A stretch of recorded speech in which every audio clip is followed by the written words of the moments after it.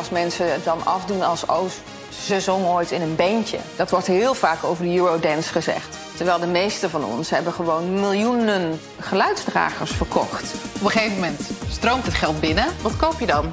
Auto's, Mercedes, Audi. We waren een hele grote act, we waren wereldberoemd. Maar we kregen niet allemaal eerlijk wat ons toebehoorde. Dus ik ben uiteindelijk achter de kassa beland. Er is toen een drugstransport geweest en dat had echt te maken met zware jongens in de onderwereld. Ja, het was nog helemaal niet zo dat ik geen geld meer had ook. Maar het was de angst dat ik op een gegeven moment geen geld meer zou hebben... die ervoor zorgde dat ik dat ging doen. 1992. Het jaar waarin ik werd geboren en Eurodance de hitlijsten in Europa en ver daarbuiten bestormde.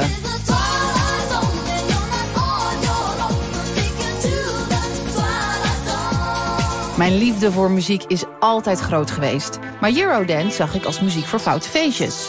Tot ik erachter kwam dat deze nummers de basis zijn geweest... voor veel van de muziek en het geluid wat we nu horen. Hebben we hier in Nederland deze artiesten wel op waarde geschat? Waren deze Nederlandse acts toen net zo groot als Coldplay en Beyoncé nu? En hoe kan het dat deze artiesten nog steeds met hun hits uit de jaren 90 overal ter wereld optreden? Daar wil ik achter komen in deze serie. In deze aflevering zie je het verhaal van 24-7. 24-7 werd bekend met I Can't Stand It. Is It Love? En Slave to the Music. Ze wisten meer dan 20 miljoen geluidsdragers te verkopen. En scoorden over de hele wereld meerdere nummer 1 hits. De act is ontstaan bij Ruud van Rijen. Hij was een van de eerste Eurodance producers die een rapper combineerde met een zangeres. Die zangeres was de toen nog piepjonge Nens. 15 jaar was ik en ik woonde in Asten. Asten is een heel klein dorpje. Maar we hadden best wel veel uh, uitgaansgelegenheden. En een van die grotere discotheken daar, dat was de Freebird. Die kende iedereen, ook in de omgeving en omstreken. Dus iedereen ging in het weekend altijd maar naar die Freebird toe. Er waren een aantal mensen die echt goed kenden. En één daarvan was Ruud van Rijen. En Ruud was de DJ in de Freebird. Dus heel veel mensen kwamen ook echt voor hem. Hij was een hele goede DJ, kon goed mixen. Echt een uh, talent.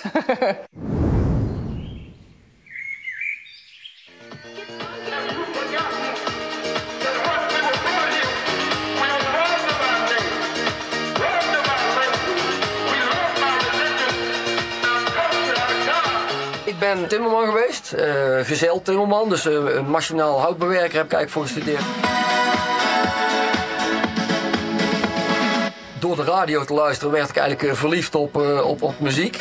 En uiteindelijk, voor mij is de vonk echt overgeslagen toen ik voor de eerste keer ehm, Ben Libras in de mix hoorde. This is Ben Librand in the mix, music non-stop. En toen had ik echt zoiets, dit is wat ik wil. En toen ben ik uh, met een cassette recorder uh, bandjes gaan, met de pauzetoets uh, bandjes gaan maken. Bij de discotheek ingeleverd in Valkenswaard, de Pyramide destijds. En ehm, die begonnen mijn bandjes te draaien. Dus toen begon het vonkje nog harder ja, te gloeien, zal ik maar zeggen. Kijk, en, en wat mensen ook niet weten, een hit komt niet zomaar. Ik heb acht jaar opgesloten gezeten op mijn slaapkamer, waar mijn studio was, op zolder. Um, en dan probeer je uit hoe een drumcomputer werkt. Je probeert uit hoe zo'n sequencer werkt. Dan start ik hem opnieuw. Zo uh, ja, kom je steeds verder en groeien uh, naar, een, een plaat toe. En mijn eerste plaat was toen um, Driving Force, Rock This World. Stond dan altijd rechts bij dat poortje te kijken hoe hij plaatjes stond te mixen en te draaien. En, en dan hadden we gesprekken als jij nou zou kunnen zingen, zou ik echt graag met jou platen willen maken. Toen zei ze, ja, maar ik kan eigenlijk best wel zingen. Uh, toen zei ik, nou, hoe, hoe gaan we dat dan doen? Toen zei ze, nou, ik heb wel een cassette thuis. En toen kwamen ze de week erop, kwamen ze met een bandje van Whitney Houston. En daar zongen ze overheen. En ik hoorde dat en ik was meteen verkocht. Ik had zoiets van, ja, Nens, wij gaan uh, eens kijken of we iets, iets kunnen proberen. En niet wetende dat er echt een miljoenenknaller uit zou rollen. Dat wisten we allebei niet. I can stand it no more, no, no, no. I can stand it no more, no.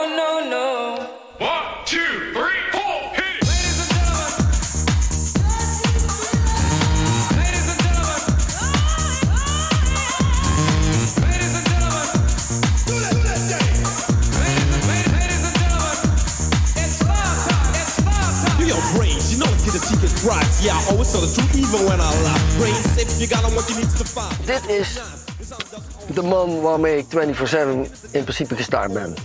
MC Fix It.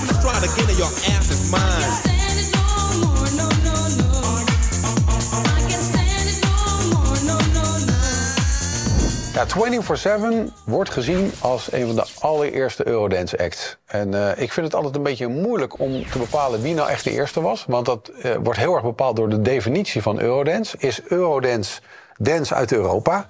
Of is Eurodance een act met een mannelijke rapper en een vrouwelijke zangeres erin? Het ligt er maar net aan hoe je die definitie aanroept. eh, wat, wat uiteindelijk dan de eerste was. Dit nummer was er zeker vroeg bij. Maar dit was 1990 uit mijn hoofd. En een jaar daarvoor had je toch echt al deze. En dit was toch echt al, nou ja, muziek uit Europa. Het kwam uit België.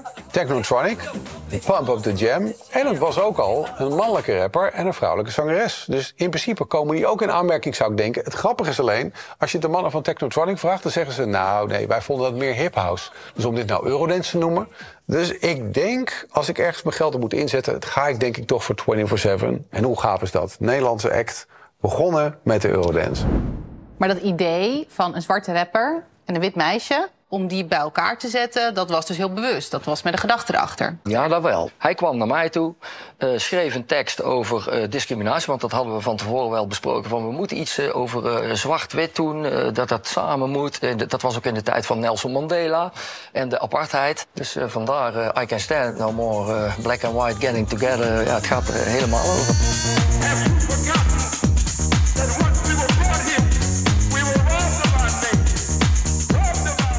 Verwacht dat het zo'n succes zou worden? Helemaal niet. Nee joh, ik dacht van nou ja, het zal wel. Iemand die een plaatje opneemt, prima. Laat mij maar zingen. Daarna weer naar school, daarna gewoon weer naar de Freebird. En je hebt echt geen idee wat er daarna dan allemaal nog gaat gebeuren. Hun eerste single, I Can't Stand It, wordt een bescheiden hit in Nederland... en bereikt de 24e plek in de top 40. Maar dat is pas het begin. Want dan komt Charlie Prick in beeld.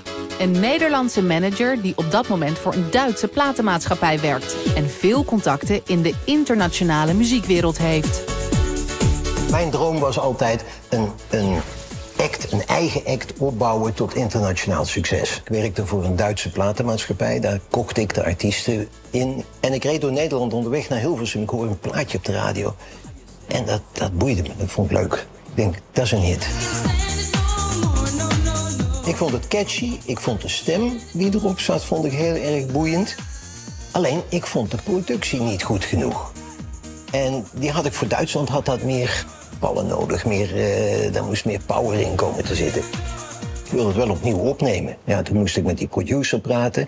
We werden op een gegeven moment benaderd door een Duitse platenmaatschappij, BCM Records. En die vroegen ons of wij de plaat opnieuw wilden opnemen in Duitsland. Maar in de studio kwam MC Fixit niet opdagen. Dus we zaten daar die dag alleen met Nens. En toen zat ik zonder rapper. En toen heb ik dus gevraagd, en nu? En toen zei ze, nou, wij hebben wel iemand nieuws voor jou. Captain Hollywood. Zei, ja, wie is Captain Hollywood? En nou ja, de volgende morgen stond Captain Hollywood voor mijn neus. Surprise, it's me. Yeah, I'm Hollywood, the down MC. I'm up on the mic. En met Captain Hollywood en twee nieuwe dansers, Hanks en Jax erbij, wordt het nummer ook langzaam internationaal een succes. To the show.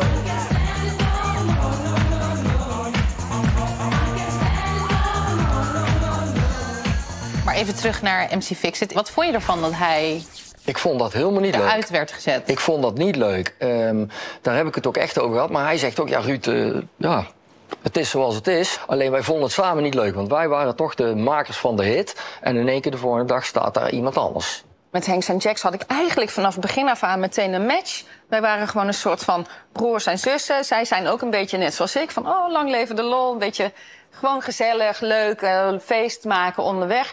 Captain Hollywood was eh, heel professioneel, was veel serieuzer daarin. Daar werd uiteindelijk ook nog een manager bij gezocht. Dat was Charlie Prick. Dus het 16-jarige meisje had inmiddels, ik was inmiddels 16, had eh, vier mannen om zich heen die eigenlijk wild vreemd waren. En dat is natuurlijk best wel raar en vreemd om te ervaren misschien niet, want ik was vrij naïef en oh, alles is leuk. Maar je moet wel naar huis bellen en zeggen, ja, nu zitten we hier en nu zitten we daar. Ja, die vond dat allemaal prachtig. Why not? Weet je wel? Ja, maar ja. Dus ook 16. Zo is het vaak. Maar daarmee heb je ook een bepaalde verantwoording natuurlijk. Ja. Met die jonge mensen. Dat vond ik ook heel erg interessant en leuk om te doen. 30 jaar later staat Nance samen met Hanks en Jax weer op het podium. En staan ze op het punt om weer in heel Europa op te treden. We zijn nu eh 30 jaar verder, dus ik heb geen idee. eh, dit is nu het eerste optreden in eh, Hamburg. Of het publiek mij nog überhaupt kent. Dat is nu de vraag. Waar zijn al mijn fans? Ik heb ze niet meer. En we worden ook niet opgehaald. Wat een armoede, hè? Dan ben je dus eh, artiest. Kom, we gaan een taxi halen. Guter Zeit? 20, ja, gute Zeit. 24-7. Aus den, aus den 90er Jahre. Aus 90er Jahren, so? Ja, de 90s. Wow. Ik vond het één groot avontuur. Ik vond het fantastisch. We- Weet je, je bent dan zo jong en je wil echt de wereld ontdekken. En mijn ouders lieten dat toe, wat wel heel bijzonder was. Hè? Want ze hadden, ze hadden ook nee kunnen zeggen tegen mij. En ze heeft me dus gelijk meegesleept naar de ouders. En ik heb hun ook heel duidelijk gezegd, eh, dat deed ik altijd met, met jonge artiesten. Kijk, in het begin verdien je niet veel. Want je bent altijd maar aan het werk. Dat zijn lange dagen, heel veel uren, heel veel reizen. Maar je beleeft dingen die je normaal in je dagelijkse baantje nooit of te lang zelfs leven zou beleven. Dus dat is iets, dat is, dat is fantastisch. En aan de andere kant, als een carrière wel lukt, dan ga je echt geld verdienen. Maar als het mislukt, dan heb je in ieder geval een fantastische tijd gehad. Wat vonden ze goed? Ja, dat is een kwestie van hoe vertel je het? Ik had wel heimwee naar mijn ouders en mijn broer. Dus ehm, naar het gezin. Dus er was wel absoluut wel ook een gemis. Vriendinnen. Maar die waren met hele andere dingen bezig. Die waren echt, eh, ja, zaten nog op school of aan het studeren. En ik was aan het zingen. Ga dat maar eens uitleggen. Maar, eh, dus dat miste ik dan weer wel. Maar goed, ik kreeg daar ook wel weer heel veel voor terug. Living the dream, hè, heet dat.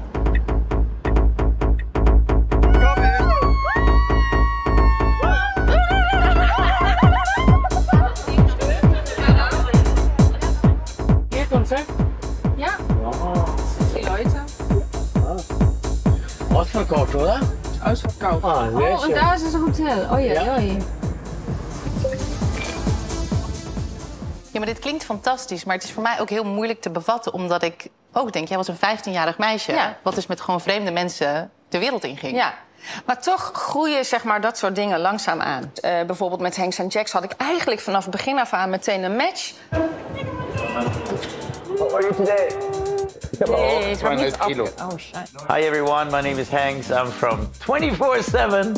Okay, the show is right here. but Die show is hier bij het hotel. Now, I'm Jackson. I'm also from 24-7. Yes. And we are like the original. Original Master Blaster from the 90s. Yes.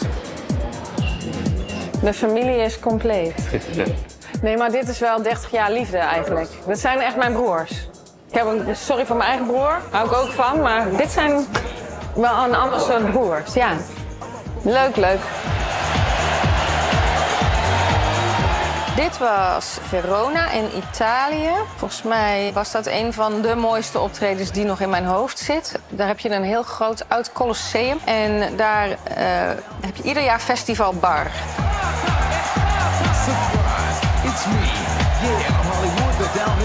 But for me, one of the greatest moments was like in Italy, I was at the festival bar. Oh, it was all big, big stars like Jason Donovan, Kylie Minogue, all these big stars. And our Janet manager, Jackson. Charlie Frick, he was a very hard guy. He was very tough. Tough. So he was in the audience during the whole show. En toen barstte die arena los. En toen stonden er kids met spandoeken, We Love 24-7, een gejuich, een gedans. Eh, de hele arena die kolkte. You know, and after our show, he came into the back room and he was crying. You know, I said, "Why are you crying?" And he said, "There was all these acts on fun, but when we was on stage, everybody stood up, stood up, and was starting dancing." This was the, the mega hit in Italy. And he was always tough. No, you mean- gotta be tough. You gotta be this. You gotta. But then he was like, "Ah, "You guys are so great." Who can say I was in Italy number one, in Spain number one, Yeah. in Denmark, in Scandinavia number one? Je begint dan wel door te krijgen van, oh ja, wij waren niet zomaar een klein groepje. En dat, dat vind ik nu soms ook nog wel eens moeilijk als mensen het dan afdoen als oh, ze zong ooit in een bandje. Dat wordt heel vaak over de Eurodance gezegd. Niet alleen over ons, maar ook over onze collega's. Oh, die zaten ooit eens in een bandje. Terwijl de meeste van ons hebben gewoon miljoenen geluidsdragers verkocht. Maar ja, je gaat op een gegeven moment dan ook geld verdienen. Ja. Nou nee, in die tijd nog helemaal niks. Nee? Nee, nee. Hoe kan dat nou? Omdat ik ontzettend voor de gek gehouden ben natuurlijk in het begin. Dat is eigenlijk wel een beetje de historie van 24-7. We earn millions, but we didn't get it. Yeah. Let's say it clear. Ik was te jong om te begrijpen hoe en wat. Maar ik denk dat, dat er wel een heleboel pijn zit, ook op dat vlak. Van ja, weet je, we waren een hele grote act. We waren wereldberoemd. Maar we kregen niet allemaal eerlijk wat ons toebehoorde. En ik denk dat daar ook een heel groot stuk wrijving door is gekomen uiteindelijk. Maar je zegt pijn. Bij wie zit die pijn dan? Die pijn zit, denk ik, denk ik, maar ik praat nu voor een ander eigenlijk, vooral bij Ruud, voel ik. Lijkt me ontzettend frustrerend. Nou, eh, ik heb wel eens ooit gezegd dat ik in een of ander gesticht eh, terecht was, was gekomen als ik eh, daarna niet nog een paar hit, hits had gehad. Want je bent in principe, weet je, dat je met het succes wat er toen al was en het contract wat ik had, was ik eigenlijk, eigenlijk al miljonair. Alleen ik had nog geen geld. 24-7, kick it one time. Er komt een album, Street Moves, en een tweede single, Are You Dreaming? Yeah, and like example, that is Are You Dreaming? Yo, Jax, what you dreaming of? I dream about money, girls, cars, you know what I'm saying? Yo, Jax, man, what you dreaming Yo, man, of? you got money, girls, cars, you know what I'm saying? Yo, wait a minute, man. You better think about the world. Ook deze single knalt door heel Europa de hitlijsten in. Het grote succes is er eindelijk voor de groep.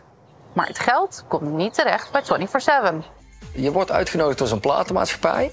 Dan ga je over contracten praten. En eh, in mijn tijd, eh, en dat, dat kan ik nou makkelijk zeggen, eh, kreeg ik een half miljoen. Nou, voor een timmerman is dat niet slecht. Na het tekenen van het contract, hier heb je alvast een cheque van eh 20.000 in D-mark was het toen nog. Het succes werd bij mij weggehouden eh, eh, en, en geld zag ik niet. Mijn eerste eh, hit die ik scoorde met I Can Stand en het album, daarna ging de platenmaatschappij failliet. Maar je kreeg een half miljoen. De belofte voor een half miljoen was voor? Dat was gewoon voor één album. Voor één album? Ja. ja. En daar heb je uiteindelijk alleen maar 20.000 van gehad? Ja, ja. Hoe kan dat? Eh, het bedrijf failliet. Dat is vaak toch het dingetje. Dan gaat zo'n platenmaatschappij gaat gewoon failliet. En dan krijg je gewoon helemaal niks. Wij, wij hebben 20 miljoen platen verkocht. Ik heb geen 20 miljoen op mijn bankrekening. Wat je dan zou denken. Ja. ja, dat kan af en toe best heel pijnlijk zijn. Ik- maar je kan er ook in blijven hangen. En ik kies ervoor om daar niet in te blijven hangen. En te denken, nou ja, weet je, dan is het maar zo. Ik heb een leuke tijd gehad. En door. Incredible time, and that was worth every single minute. Exactly. It would be great if we make money. Oh, let's make money. Let's make some money now. But we didn't. Oh shit, we don't make. We didn't make money. Ondanks al het succes komt er dus geen geld in het laadje. En Captain Hollywood kiest eieren voor zijn geld en besluit solo verder te gaan. Hij sluit een contract af met een andere platenmaatschappij waar hij meer geld kan verdienen.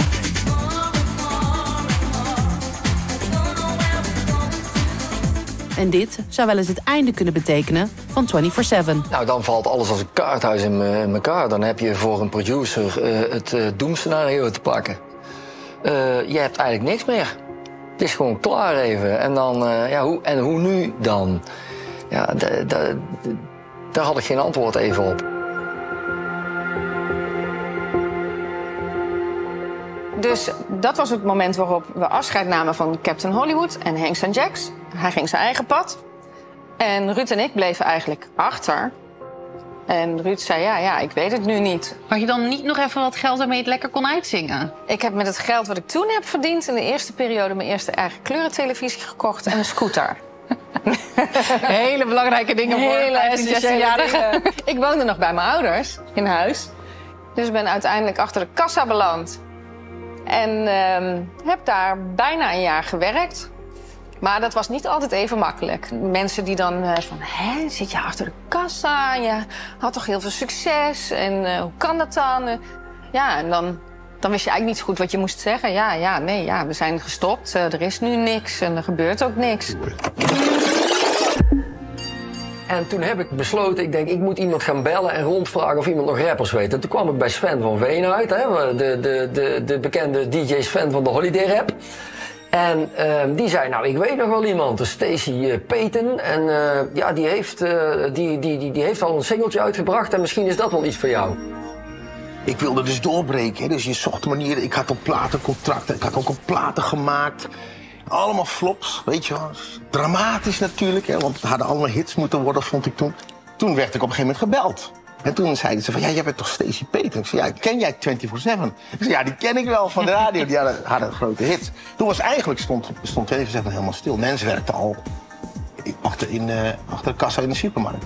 Ik vond een kans om, om te proberen om dat te doen. Hollywood was voor mij eh, echt een, een, een, grootheid. Dus het is nogal een challenge om zo iemand hè, om, om daaraan te matchen. Het is ook fijn als je in de supermarkt kan zeggen... jongens, het was leuk, maar ik ga weer weg. Ik kwam, ik kwam net kijken hè, en, en Nens was nog steeds het gezicht wel van die groep. En dat, dat zag je ook op de eerste hoes van de plaat. Was ik heel klein achterin en Nens was heel groot. Maar ik vond het prima. Ik was al lang blij dat ik op die hoes mocht staan, weet je wel. Maar die, die, die, dat flopte helaas, die plaat.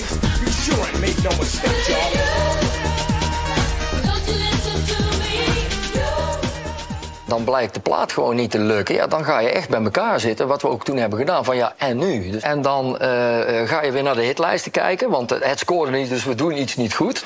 Op dat moment was eh Noek Nana eh, een, een hit.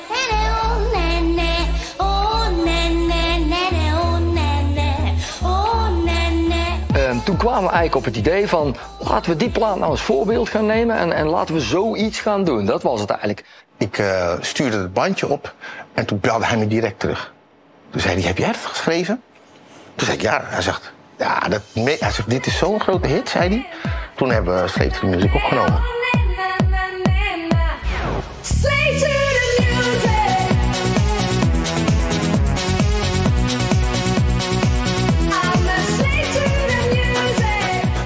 De verwachtingen zijn torenhoog van de potentiële hit. Maar de plaat wordt maar niet opgepikt. Stacy zag de bui al hangen. Er kwam een punt dat ik dacht van, nou ja, dit, ja, ik had er inmiddels veel schulden, want alles investeerde ik in mijn, in mijn carrière. En toen, toen eh, belde ik Ruud, helemaal in zak en assen. Het was nogal wat om dat op te geven. Toen belde ik, was hij nou, ik ja, ik ga ermee stoppen. Ik, ik, eh, dit gaat er gewoon niet worden. En ik legde de telefoon neer en nog geen uur later eh, belde Hans de Boer mij van eh, de platenmaatschappij, de E&A-manager. En die zei van, eh, Ruud, je gelooft nooit wat er gebeurd is. We zijn binnengekomen in de Nederlandse tipparade. En het gaat waarschijnlijk toch nog helemaal lukken met de plaat. En toen heb ik meteen steeds teruggebeld. Nou, ik geloof dat ik wel 40 rondjes door... Gelukkig hadden we niet zo'n heel groot huis... maar ik geloof wel 40 rondjes door die huiskamer rende. Want de tipparade, nou, dat vond ik dus een, een wereldprestatie. Want ik, ik had elke week die top 40 blaadjes. En ja, de rest is history, want dat werd een hele grote miljoenenkanaal over de hele wereld.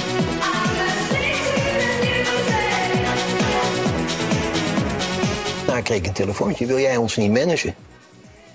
Terugmanagen. Nou, en zo zijn we begonnen. En waarom wilde je dat? Het werk was maar half af. Eh, We hadden op dat moment al een act die al nummer 1 in Italië had gestaan, top 10 had gestaan in een hele hoop landen.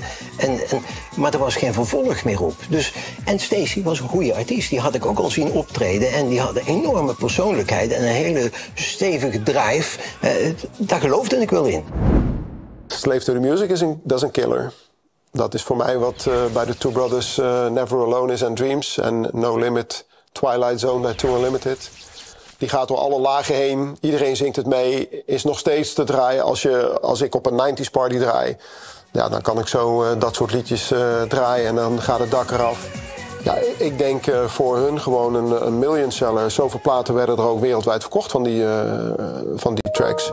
Er moest na Slave to the Music opeens een album komen. Heel snel. Dus Ruud en ik moesten meer met elkaar gaan werken. Nou, geweldig. Ik heb, ik heb nog nooit zo fijn gewerkt eh, met een producer als met Ruud.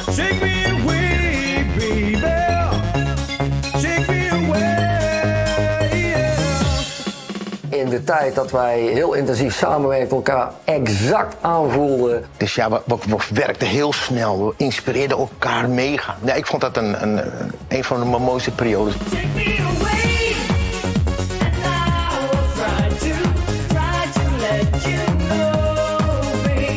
Jij zit bij de groep, Stacey komt erbij.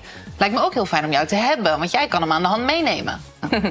Misschien dat ik dat eh, zo wel heb gewild of gevoeld of heb gedacht. Of misschien dat ik dat nu ook nog steeds wel soort van in mijn hoofd heb. Van ja, maar zo was het toen. Ik stond aan de basis ehm, met Ruud samen. Dus ik had wel zoiets van, ja, weet je, we hebben al succes gehad. Ik, ja, het is heel lastig uitleggen. Misschien toch ook een beetje een ego-dingetje. Van ja, weet je, laat mij maar jou aan de hand nemen. Alleen ik merkte dat voor mijn gevoel gauw genoeg dat verschoof. Dat ik meer naar de achtergrond werd gedrukt. En Stacey steeds verder de overhand ging nemen. Doordat hij schreef en eh, ideeën had en stappen wilde maken en dat soort dingen. En, en ik ook nog steeds in het naïeve zat van... oh ja, maar het is toch allemaal zo leuk en aardig. Weet je, ik zag het niet als werk. Is it love?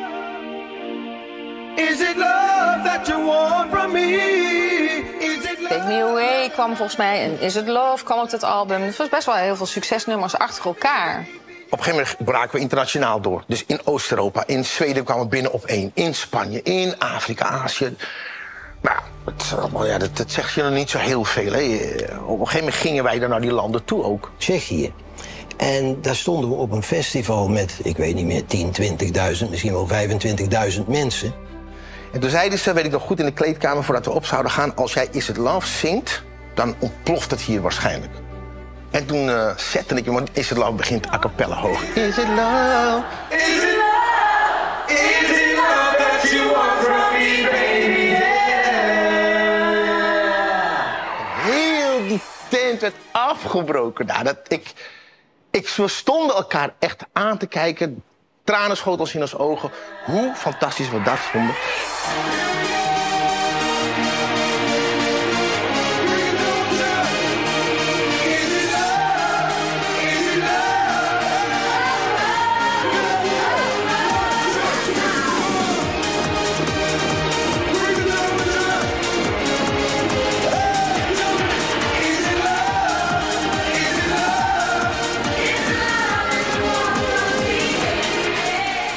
Krijg nog een brok in mijn keel als ik eraan denk. Weet je wel?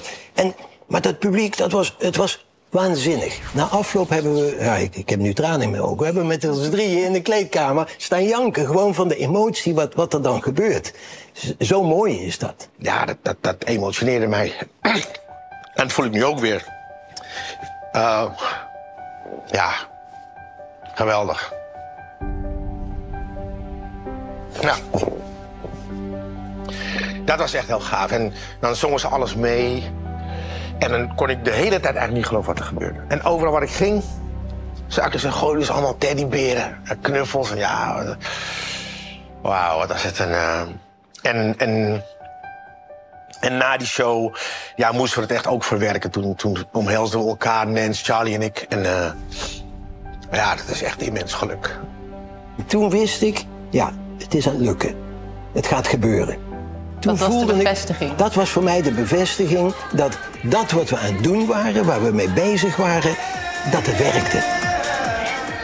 Na het eerste album, dus eigenlijk die vier knallers, ja, toen kwam het geld echt met vrachtwagens binnen. Dat was echt, eh, ja, dan praat je echt eh, over een miljoen. Zo, of vijf ton in één keer. eh, en, en na drie maanden weer een paar ton. En ja, daar, daar gaat het heel hard. Dat, is wel een, eh, dat was een mooi momentje. Op een gegeven moment stroomt het geld binnen. Wat koop je dan? Auto's, Wat voor auto's? Mercedes, Audi, BMW, alle drie. Ik gaf eh, een auto voor een verjaardag. Je gaf een auto weg voor verjaardag. Ja. Dure vakanties. Ik nam iedereen mee op vakantie. Ik betaalde alles voor iedereen. Ik, ik onderhield gezinnen. Ik had hele dure cadeautjes voor iedereen. Eh, mensen die ik kon helpen, die hielp ik dan.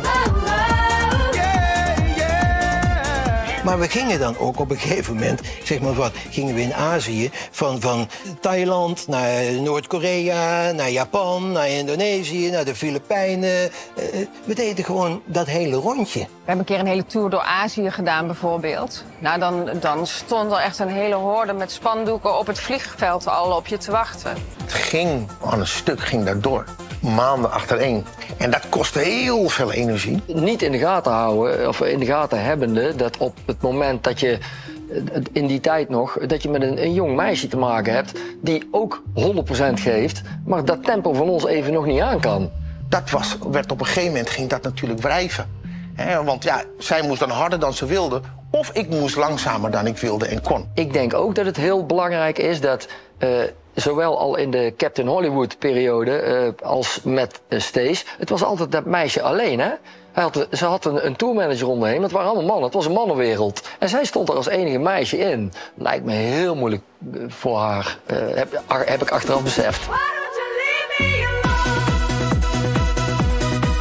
Je dus ook niet meer je vriendinnen. Je ouders zijn mijlenver van je verwijderd.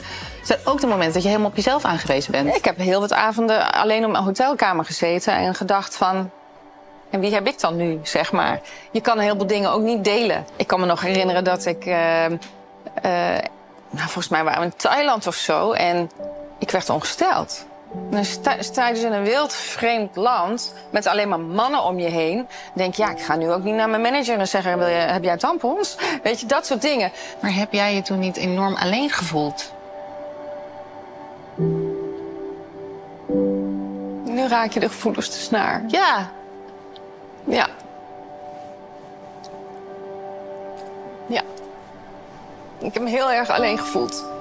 Heel erg onbegrepen. Door de mensen waar ik toen het meeste op vertrouwd heb. Ook door collega's. Dat heb ik nog steeds wel eens hoor. Als ik met andere collega's uit die tijd praat, die dat dan maar niet begrijpen.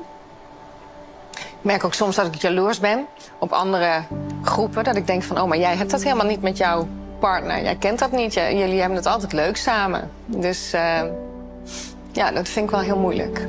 was mijn fout. Ik had veel meer met haar moeten communiceren. Ik had er veel meer bij alles moeten betrekken.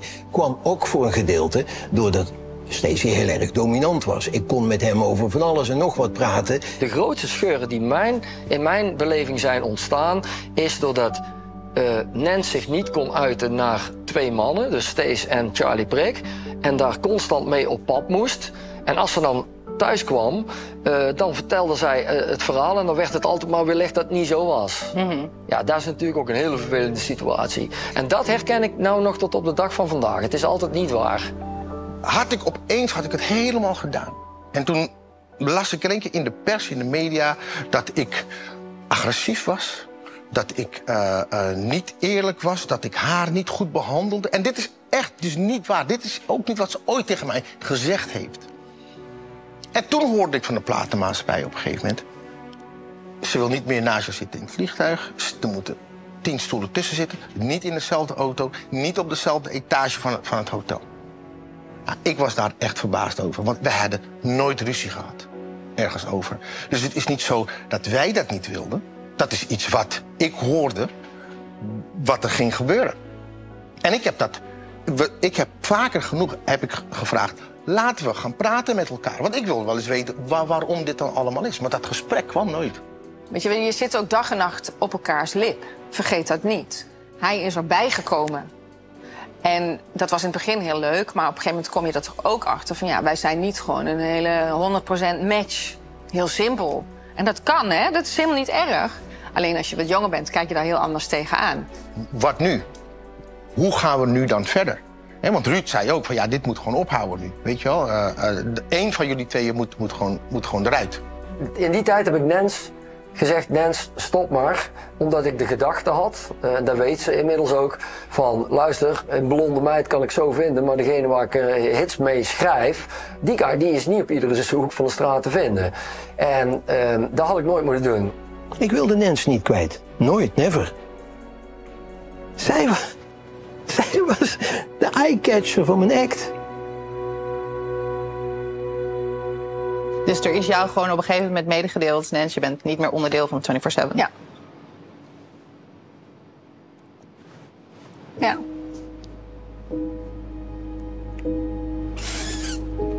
Dat is best wel een hard gelach op dat moment. Als je, dan zie je je droom toch een klein beetje instorten. Het verdriet heeft de overhand gekregen in, in dit hele verhaal. De boosheid ook, van "Ah, ik ben boos. En het is de schuld van Ruud en het is de schuld van Stacy. Maar exacte woorden, I don't know. Ik weet het echt niet. Maar ik weet dat ik gewoon heel lang boos ben geweest. Of misschien nog wel ben zelfs. Dacht je dat Nens vervangbaar was? Ja, daar heb ik ooit eh, keihard geroepen. En dat is de grootste stomme fout die ik ooit heb gemaakt. Want in werkelijkheid is ze niet vervangbaar. Kijk, het, Nens is Nens. Tina Turner is Tina Turner.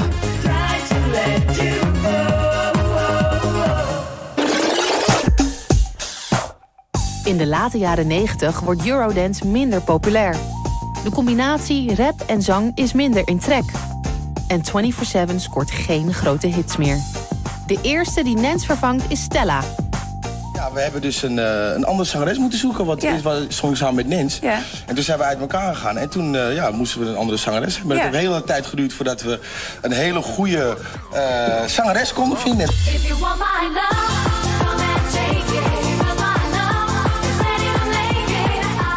Ze scoren samen een magere hit. En het succes komt langzaam tot een eind. Ik heb ook een kindje, die heb ik meegenomen. Mijn zoontje, die zit daar. Die wil gaan zwaaien. ik zal hem wel even Ja, haal hem eventjes. Ja, en uiteindelijk eh, ja, gebeuren er dan allerlei dingen ja, die heel jammer zijn. Zoals Stees, eh, die, eh, waar ik op, op een gegeven moment de telefoon van krijg van zijn vrouw. Van hij zit in de gevangenis en eh, ja, hoe lang gaat dat duren? Ja, vier jaar. Ik was in materiële zin was ik schatrijk, maar ik was in emotionele zin was ik straatarm geworden. Maar niemand die dat weet natuurlijk. Hè, je, je dempt dat ook door dingen te doen, veel alcohol, drugs, door, eh, dingen te kopen. Maar en dan heb je dus een probleem als het succes minder wordt. En toen, toen raakte ik op een verkeerd pad. Toen dacht ik, weet je, het zal waarschijnlijk geen succes meer worden in de muziek. En toen, toen bleek hoe erg afhankelijk ik, ik geworden was van materiële rijkdom. Eh, toen dacht ik, weet je, ik ga nog één keer heel veel geld verdienen. En dan ga ik rustig aan doen. En de manier om dat te doen, bedacht ik bij mezelf, was om eh, wat vrienden te bellen die ik kende uit de onderwereld. Om specifieker te zijn, er is toen een drugstransport geweest... en dat had echt te maken met zware jongens in de onderwereld. Ja, die zaten erbij betrokken allemaal. Het was toch helemaal niet zo dat ik geen geld meer had ook. Het was de angst dat ik op een gegeven moment geen geld meer zou hebben... die ervoor zorgde dat ik dat ging doen. Toen, ging, toen mislukte het. En toen eh, ben ik een paar maanden later werd ik, in Nederland werd ik gearresteerd. Op een heftige manier. eh, door een arrestatieteam. Ben je thuis? Ben ik toen opgehaald voor de deur. Wat doet dat met je gezin?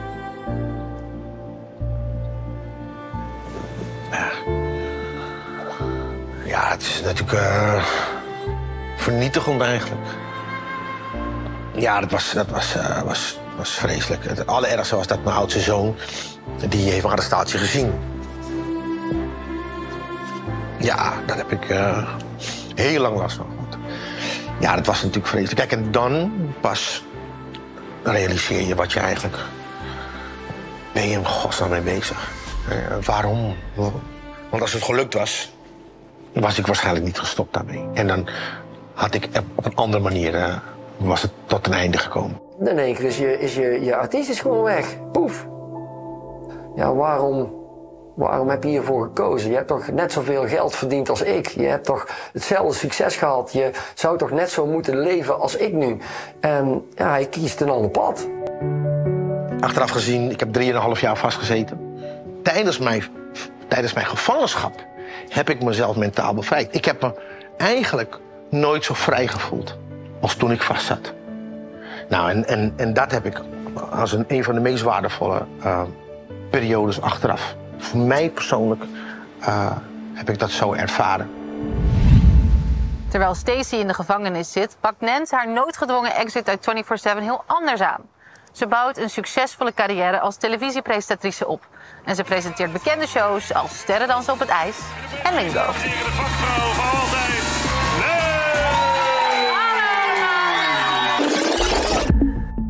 Als Stacey na drie jaar vrijkomt, krijgt hij weer een telefoontje van Ruud wat zijn leven verandert. Ruud wil met hem 24-7 oppakken. Ik zei, ik ben veel te oud. ik ga toch nu niet meer op die bühne staan. Ik heb mijn teksten niet eens meer. Dus, dus nee, ik, ik moest daar heel erg wennen aan, aan, aan dat idee eigenlijk. Ik kon me ook niet meer voorstellen dat mensen het nog leuk zouden vinden. En met wie dan trouwens, weet je wel. Dus, ehm, maar goed. Het was wel weer dat ik dacht, oh, maar het is wel gaaf. Dus toen zei ik van, oké, met, met, wie gaan we dat dan doen en zo. En toen, eh, toen kwam die al vrij snel met, met eh, Lien. Stacey toert met Lien door heel Europa. En samen zetten ze de 90s dance festivals met de 24-7 klassiekers van toen in vuur en vlam. Ik zit dus nu al 14 jaar in 24-7. Wel echt vanaf het begin van de revival. En wat Nens natuurlijk heeft neergezet in de jaren 90... dat waardeer ik ontzettend. Daar heb ik heel veel bewondering voor. En eh, ik voelde me vereerd dat ik haar plek mocht overnemen. Wat dan nog het meeste pijn doet van alles is dat je wordt weggeschoven. Alsof je nooit bestaan hebt. Maar dat ik wel heel veel filmpjes nu zie op social media en mijn stem hoor bij optredens. Niet meer nu, maar vooral in de beginperiode dat ik weg moest, werd wel nog steeds continu mijn stem gebruikt op de band. En ik krijg daar nu weer hartkloppingen van. Ja, ik merk het is- ook aan je. Het is heel erg om ontkend te worden. Zo voelt het eigenlijk. Ik word ontkend in iets waar, waar ik zo'n groot deel van ben. De afgelopen jaren is ook Nance weer aan het optreden met de hits van 24-7. Dit doet ze los van Stacy, maar wel weer met haar oude maatjes Jax en Hanks. Ik ben hartstikke blij voor haar dat zij eh, dat weer is gaan doen. Ik hoop dat zij het zelf ook heel erg leuk vindt en die jongens ook. Ik gun dat, dat haar ook. Ik vond het zo eh, raar dat ik verdiende weer geld met de nieuwe optredens. Stees en Lian stonden daar, verdienden geld met hun optredens. Maar de meid die het allemaal gezongen had, die verdiende er geen geld meer aan. En daar heb ik altijd heel, eh, heel als vervelend ervaren. En ik vond dat zij recht had om op dat podium terug te komen. En dat zij gewoon de wereld weer door mocht met 24-7. Je treedt nu op. Hoe lang wil je dat nog blijven doen? Tot het niet meer leuk is. Tot het echt niet meer leuk is. Dat vind ik echt het belangrijkste. Terwijl Nance juist weer vaker met Hanks en Jax optreedt, heeft Stacy besloten te stoppen met zijn 24-7. Tsjechië, het land waar Stacy 30 jaar geleden de grootste successen vierde, is ook de plek waar hij definitief een punt gaat zetten achter zijn carrière. Take me away, baby. Take me away. Geweldig dat dat Eurodance toch zo lang zoveel mensen gelukkig maakt. Dat, dat vind ik het, het allermooiste van alles. Ja, ja, ja. Dat gaan we straks missen. Ja, maar, maar, maar ik ga wel heel erg genieten ervan, zodat ik het, dat we het, eh, ja, toch met liefde los kunnen laten. Ja.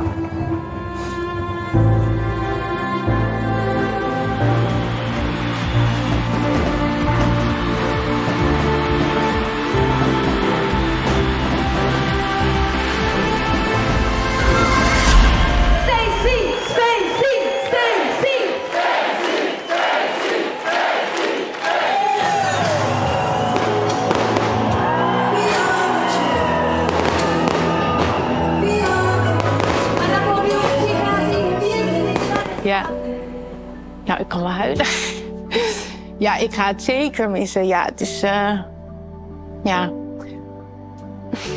ik vind optreden heel leuk om te doen. En de fans en de, de muziek.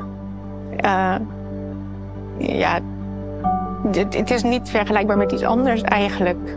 90s have been exploded.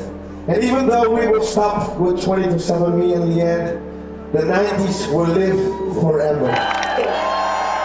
We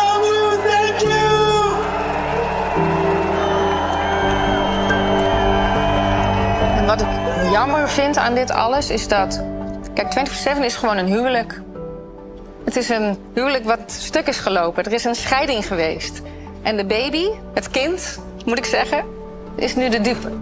Wij waren op het juiste moment in de juiste tijd bij elkaar en hebben eh, iets heel moois neergezet. En ik denk dat, dat, eh, eh, dat ik het zo moet blijven herinneren. Zie je jullie ooit nog als een soort van familiediner eh, aan tafel zitten... dat alles nog eh, weer koek en ei is tussen jullie allemaal? Tussen Ruud, Nens en jij? Wat mij betreft wel. Het zou toch fantastisch zijn eigenlijk. Als, we, als, als dat wel zou kunnen. En misschien is mijn, het einde van mij bij 24-7, zet dat die deur open.